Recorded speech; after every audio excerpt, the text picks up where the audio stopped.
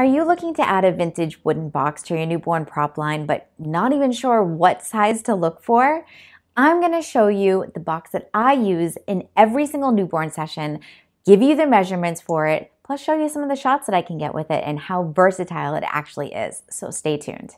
If you don't know me, my name is Michelle Brewster, and I'm the founder of the Swaddle Pro and the Profitable Studio. I am here to help you conquer all things maternity and newborn photography, so be sure to subscribe. So here it is, my vintage wooden box. I love this thing. It's so versatile.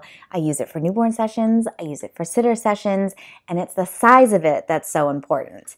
So this particular wooden box is 13 inches in length by 8 inches in width, and the depth is 5.5 inches, which makes it perfect for newborn sessions. So if you want to put the baby in on their belly to do the hands in the chin pose, or if you want to flip them over in a cute little wrap so that they have fur and beautiful textures, they don't get lost in this size. It fits them perfectly. It doesn't overwhelm the picture. It's more about the baby than the prop.